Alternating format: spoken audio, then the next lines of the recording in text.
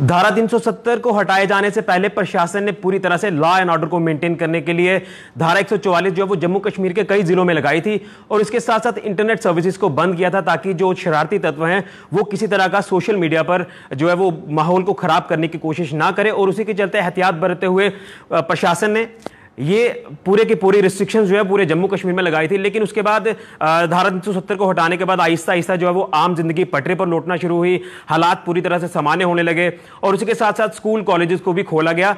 और उसके बाद, तेरह दिन के बाद जम्मू संभाग के पाँच जिलों में इंटरनेट सर्विसेज़ को दोबारा से रिस्टोर किया गया। लेकिन 36 घंटे के बाद ही इंटरनेट सर्विसेज़ को स्नैप्ड किया गया दोबारा से, क्योंकि जिस तरह से लगातार र्यूमर मॉन्गरिंग चल रही थी, अफवाहों का बाज़ार गर्म था फेक खबरें जो है वो फैलाई जा रही थी और गलत तरह के संदेश जो है वो देने की कोशिश की जा रही थी। उसी के चलते एहतियात बरतते हुए प्रशासन ने एक बार फिर से इंटरनेट सर्विसेज़ को बंद कर दिया। लेकिन अब दो दिन हो गए हैं दोबारा से इंटरनेट सर्विस को बंद किए हुए, लेकिन उसके बाद भी दो दिन जिस तरह से हवाओं का बाज़ार गर्म रहा, जम्मू में यह सुना गया कि पेट्रोल पंप पर भारी रश देखा गया, पेट्रोल पंप को बंद कर दिया है। उसी के साथ साथ सांबा में भी ये थोड़ा सा वाक्य पेश आया, अफवाह फैलाने के बाद कि सांबा में भी पेट्रोल पंप जो है वो बंद कर दिए गए हैं। लेकिन लगातार गलत मैसेज जो है वो दिए जा रहे थे, और हम ये कोशिश कर रहे हैं कि उच्च अधिकारियों से बातचीत की जाए, और इस तरह का कोई माहौल जो है वो खराब नहीं है। पूरी तरह से हालात सामान्य हैं। इन्हीं से पर बात करने के लिए मेरे साथ मौजूद हैं डीसी सांबा रोहित खजूरिया जी। उनसे जानते हैं कि वो आ, उन शरारती तत्वों को भी क्या संदेश देना चाहते हैं कड़ा संदेश देना चाहते हैं और क्या अपील वो जो है वो आम जनता से करना चाहते हैं। सर बहुत बहुत स्वागत है जेके मीडिया में आपका। लगातार जिस तरह से धारा 370 को हटाने से पहले जो एहतियात बरते गए पूरी तरह से जो है वो एक सफलता जो है प्रशासन को मिली किस तरह कोई माहौल जो है वो बिगड़ा नहीं। लेकिन अफवाहों का बाज़ार गर्म था अफवाहें लगातार फैलाई जा रही थी। उसके बाद हालात सामान्य होने लगे टू जी सर्विसेज़ जो है वो इंटरनेट सर्विसेज़ रिज्यूम की गई लेकिन छत्तीस घंटे के बाद बंद कर दी गई क्योंकि अफवाहें लगातार फैलाई जा रही थी। क्या कहना चाहते हैं सबसे पहले इसके बाद देखिए ऐसा है पाँच तारीख को यहाँ पे हमने धारा एक नाफिज करी थी। और उसके साथ ही स्कूल कॉलेज भी हमने एहतियातन बंद कर रहे थे। लेकिन इन जो पाँच दिनों में भी जो हमारे यहाँ पूरी शांति बनी थी, स्कूल, कॉलेज ही बंद थे, मार्केट्स खुली थी, गाड़ियाँ चल रही थी, पब्लिक ट्रांसपोर्ट भी चल रहा था और किसी किस्म की भी कोई दिक्कत नहीं थी। इसको देखते हुए हमने दस तारीख को रिव्यू करके स्कूल, कॉलेज भी खोले और एक भी हटा ली। तो उसके बाद यहाँ पूरी शांति बनी हुई है। जैसा आप बता रहे हैं, कुछ रूमर जो फैलाने की कुछ लोगों ने कोशिश करी थी और लोगों ने उसमें यकीन थोड़ा सा करके तो पेट्रोल पंप पे लाइनें लगाई थी। लेकिन हमने उसी टाइम एक्शन करके लोगों को संदेश दिया था और समझा दिया था कि ये झूठ है।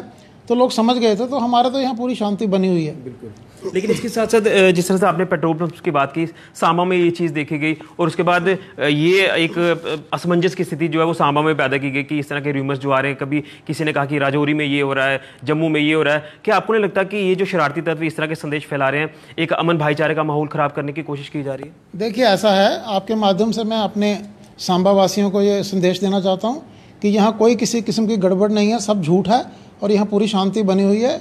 अफवाहों पर यकीन मत करिए और अपना अपना काम जैसे वो कर रहे हैं करते रहिए। इसके साथ साथ अगर इस तरह का को कोई इंसिडेंट होता है जिस तरह से अफवाहें फैलाई जा रही कल भी जम्मू में एक व्यक्ति को अरेस्ट किया गया अफवाहों को फैलाने के चक्कर में क्या आपको लगता है कि आ, किस तरह की कार्रवाई की जाएगी आने वाले दिनों में अगर इस तरह के कोई इंसिडेंट सामने आते हैं? देखिए ऐसा एक इंसिडेंट जो पहले सामने आया था आपको याद होगा उसके ऊपर हमने एक एफआईआर भी लगाई थी। मुझे मेरे ख्याल में दस तारीख की बात है। एफआईआर भी लगाई थी तो आगे भी कोई करेगा तो सख्ती से प्रशासन उसे निपटेगा। यानी प्रशासन पूरी तरह से तैयार है इन पूरे बातों को निपटने के लिए?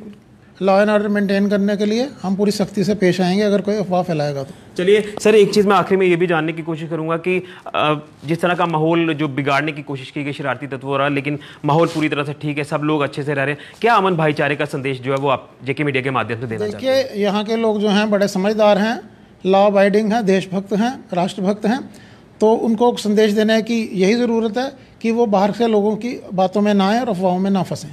चलिए बहुत बहुत शुक्रिया। तो सीधा संदेश है डीसी सांबा रोहित खजूरिया जी का कि अगर रूमर मॉन्गरिंग कोई करता है तो उसके ऊपर सख्त एक्शन लिया जाएगा, सख्त कार्रवाई की जाएगी।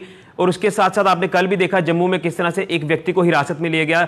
लगातार फेक खबरें फेक संदेश जो है वो फैलाने की कोशिश की जा रही थी। एक धार एक ऐसी धारणा बनाई जा रही थी कि जम्मू कश्मीर में माहौल खराब है। लेकिन उच्च अधिकारियों ने ये बिल्कुल साफ़ कर दिया है। कल भी जम्मू में अगर देखा जाए तो प्रेस कॉन्फ्रेंस जो है वो ज्वाइंट प्रेस कॉन्फ्रेंस की गई डीसी जम्मू और एसएसपी जम्मू के बीच में। और उसके बाद आज हमने कोशिश की कि डीसी सांबा, रोहित खजूरिया जी से एक संदेश लिया जाए कि क्या किस तरह की कार्रवाई इन शरारती तत्वों पर की जाएगी। तो कड़ा संदेश है कि अगर इस तरह का कोई ऐसा इंसिडेंट सामने आता है तो उनके ऊपर कार्रवाई जो है वो सख्त की जाएगी। और अपील भी इन्होंने की है कि आपसी भाईचारे और अमन के साथ रहें और जम्मू कश्मीर का माहौल जो है वो पूरी तरह से शांत है।